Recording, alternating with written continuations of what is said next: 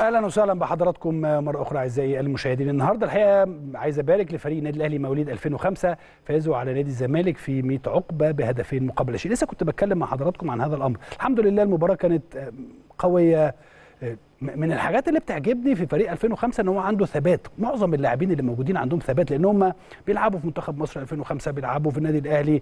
بالمناسبة معظم هؤلاء اللاعبين موجودين أو كانوا بيتمرنوا مع النادي الأهلي في الإمارات.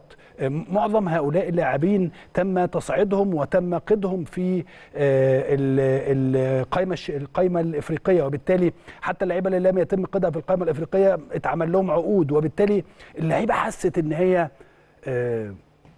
عندها مستقبل كبير إن شاء الله خلال الفترة القادمة داخل النادي الأهلي. وكل هؤلاء اللاعبين 2005 ده يعني عنده تقريبا 19 20 سنة وبالتالي خلاص سنة سنتين المفروض يعني يكون مع الفريق الأول وبيلعب مع الفريق الأول. النهارده كانوا بيلعبوا بره أرضهم وكانوا كل زي ما قلت لحضراتكم مسؤولي كل كل المسؤولين في نادي الزمالك كانوا حاضرين هذه المباراة. المدير الفني البرتغالي الجديد لنادي الزمالك كان حاضر ورغم ذلك ممكن جدا أتهز أنا كأهلاوي أو أنا كلاعب في النادي الأهلي إن أنا أتهز إن كل المجلس موجود وهكذا والمدرب والحاجات اللطيفة اللي بتتقال دي. لكن آه وبالمناسبة برضو نادي الزمالك لعب متيابة اللاعب الجديد اللي جايبينه الأوغندي لعب مع فريق 2005 وبالتالي عجبني جدا ثبات هؤلاء اللاعبين.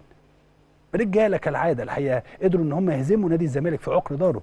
المباراة النهارده كانت طبعا ضمن الجولة الأولى من المرحلة النهائية لبطولة الجمهورية 2005 كل لعيبة النادي الأهلي الحقيقة ظهروا بشكل جيد عابدين في الدفاع معظم اللاعبين في خط الوسط يوسف عبد الحفيظ معتز محمود لبيب حارس مرمى حازم جمال.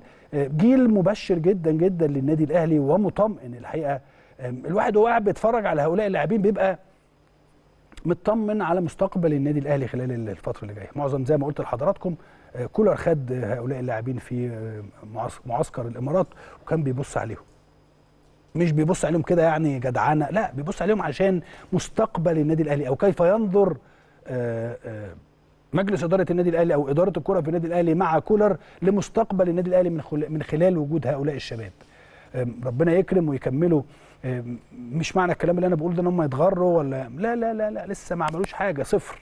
كل دول شباب زي الفل وكل حاجة شباب واعدين للفترة القادمة ولكن اوعى اوعى تبص إن أنت ك... لا.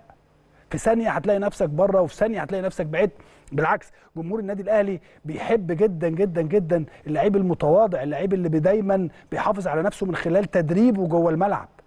بعيدا عن أي أمر آخر وبعيدا عن أي شيء آخر. عشان كده أنا بقول لحضراتكم عندنا مجموعة من الشباب إن شاء الله إن شاء الله يكون لهم مستقبل جيد مع النادي الأهلي ويكونوا نواة للفريق الأول لكرة القدم في النادي الأهلي.